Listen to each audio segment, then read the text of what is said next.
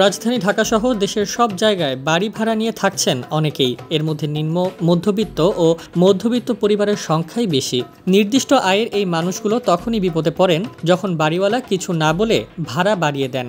এ অবস্থায় কোনো করণীয় খুঁজে না পেয়ে হতাশ হয়ে পড়েন তারা। তবে আইনি প্রতিকার জানা থাকলে হঠাৎ করে ভাড়া বাড়ার খপ্পর থেকে রক্ষা পাওয়া সম্ভব হতে পারে।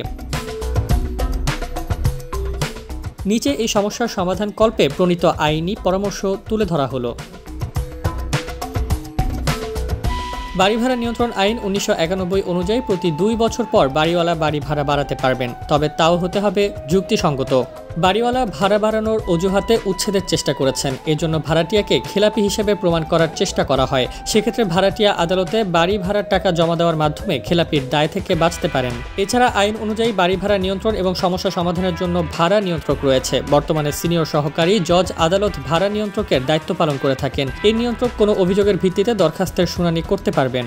বাড়িওয়ালা কোনো কারণে ভাড়া গ্রহণে অস্বীকৃতি জানালে ভাড়াটিয়াকে চুক্তি অনুযায়ী সময়ের মধ্যে অথবা চুক্তি না থাকলে পরবর্তী মাসের পনেরো তারিখের মধ্যে মানি অর্ডার যোগে বাড়িওয়ালার ঠিকানায় ভাড়া প্রেরণ করতে হবে। মানি অর্ডার যোগে প্রেরিত ভাড়ার টাকাও যদি বাড়িওয়ালা গ্রহণ না করেন, তাহলে ওই টাকা ফেরত আসার পরবর্তী পনেরো দিনের মধ্যে ভাড়াটিয়াকে ভাড়া নিয়ন্ত্রক অর্থাৎ সিনিয়র সহকারী জজের বরাবর দরখাস্ত এবং একই সঙ্গে ভাড়ার টাকাও জমা দিতে হবে।